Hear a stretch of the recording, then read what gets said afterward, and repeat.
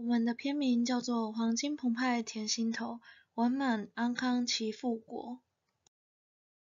借由创新的玩果推广美食文化，让更多人了解玩果以及品尝创新的产品，并突破人们心中传统玩果的形象。下图为同学阿嬷在市场贩售玩果的示意图，由于较属于古早味且具米香，过没多久就销售一空。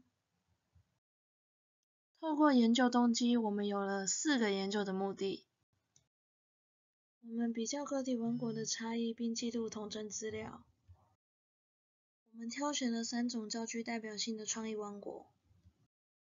我们将包装设计成用来祭拜神明，寓意一生平安、生意兴隆。我们的研究步骤分别是：玩果试吃、研究实作、校内试卖、校外贩售、整理资料、会诊结论。我们选择了五家较知名的店面进行试吃，这是我们的试吃结果。以下是我们的实作成品。校内娱乐会贩售教室预购以三种产品销售为主，学生限购以两种产品销售为主。以下是我们贩售的产品。我们透过校外小农市集进行贩售。我们有去校外小农市集贩售产品。我们针对新产品做 SWOT 分析，以下是我们分析的几点内容。我们针对新产品做行销 STEP 策略，市场区隔以年龄、消费动机和购买时机作为区隔变数。目标市场以年轻勇于尝新的年轻族群及有祭祀需求的族群为主。市场地位、创新风味、包装精致、心满意足、前程圆满。对比传统口味的玩果，我们所研发出的新口味玩果配料更为丰富，具备了向上延伸的价值，也增加了玩果的蔬菜营养，让玩果不仅增加了色彩丰富度的同时，也提升了玩果整体的美观性。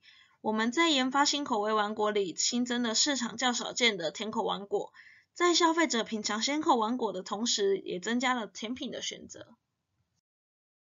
以下是我们对于年轻消费族群接受度进行的统整。以下是我们统整出来的年轻消费族群的接受度：黄金王果大吉大利，招财进宝，财源广进；澎湃王果年年丰收，平安福气，攘攘满家；玉香甜王果满口香甜，好言好语，广结善缘。以下是我们心满意足包装的接受度。对于现代的饮食文化来说，大部分的人更倾向于选择精致美观的美食。